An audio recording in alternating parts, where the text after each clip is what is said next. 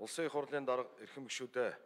Монгол улсын засаг захиргаа нутаг дэвсгэрийн нэгж түүний удирдлагын тухай хуулийн 41-р зүйлийн 41-ийн 2 дахь хэсгийн зарим заалт Монгол улсын үндсэн хуулийн холбогдох заалтыг зөрчсөн эсэх маргааныг хян шийдвэрлсэн тухай Монгол улсын үндсэн хуулийн цэцгийн 2023 оны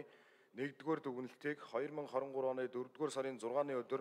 улсын их хурлд ирүүлсэнийг хууль зүйн байнгын хороо Монгол улсын их хурлын чуулганы хуралдааны дэгийн тухай хуулийн 82 дугаар зүйл заасан журмын дагуу 2023 оны 4 дугаар сарын 12-ны өдрийн хуралдаанаараа хилцлээ. Банкны орооны хуралдаанд улсын их хурлын итгэмжлэгдсэн төлөөлөгч, улсын их хурлын гишүүн Жэс Хватер, Монгол улсын үндсэн хуулийн цэцгийн 2023 оны 01-р дүгнэлтийн агуулгыг танилцуулсан болно. Хууль зүйн байнгын хорооны хуралдаанаар үндсэн хуулийн цэцгийн дүгнэлтийг хилцэх үед улсын их хурлын гишүүн Э Батамглан үндсэн хуулийн цэцгийн дүгнэлтийг хүлээн зөвшөөрөх боломжгүй талаар дурдаад дүгнэлттэй холбогдуулан улсын их хурлын итгэмжлэгдсэн төлөөлөгч төлөөлөгчөөс асуулт асууж хариулт авсан болно. Улсын их хурлын гишүүн мөнх цэцэг Монгол улсын засаг захиргаа нутаг дэвсгэрийн нэгж түүний удирдлагын тухай хуулийн 41-р зүйлийн 41-ийн 2 дахь хэсгийн зарим заалт Монгол улсын үндсэн хуулийн холбогдох заалтыг зөрчсөн гэсэн үндсэн хуулийн зэцийн дүгнэлт гарсан тул хүлээн авч хуулийн холбогдох заалтыг өөрчлөн найруулж хууль хэрэглээний тал дээр маргаан үсэхгүй байх нь зүйтэй талаар улсын их хурлын гишүүн Мөнхбаатар уг хуулийн зохицуулт шүүхийн хүчин төгөлдөр шийдвэрийг хилцэхтэй холбоотой асуудал биш. Иргэдийн төлөөллийг хангах нөхөн сонгуул явуулах боломжийг нээсэн зохицуулт тул үндсэн хуулийн цэцгийн дүгнэлтийг хүлээн зөвшөөрөх боломжгүй талаар улсын их хурлын гишүүн Адшаа иргэдийг төлөөлөх эрх бүхий этгээд гэмт хэрэг үйлдсэн болох нь шүүхийн хүчин төгөлдөр тогтоолоор батлагдсан бол даруй шийдвэрлэх зохицуултыг хууль тусгаж үндсэн хуулийн цэцгийн дүгнэлтийг хүлээн зөвшөөрөх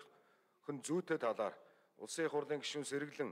хуулийн нэр томьёо хоёрдмол утга илэрхийлж байгаатай холбогдуулан үндсэн хуулийн цэцээс маргаан үүсгэсэн байх магадлалтай бөгөөд үндсэн хуулийн суурь зарчмыг ямар ч тохиолдолд хэрэгжүүлдэг байх зохицуултыг тусгаж холбогдох өөрчлөлтийг оруулах нь зүйтэй гэж үзэж байгаа талаар саналаа илэрхийлсэн болно.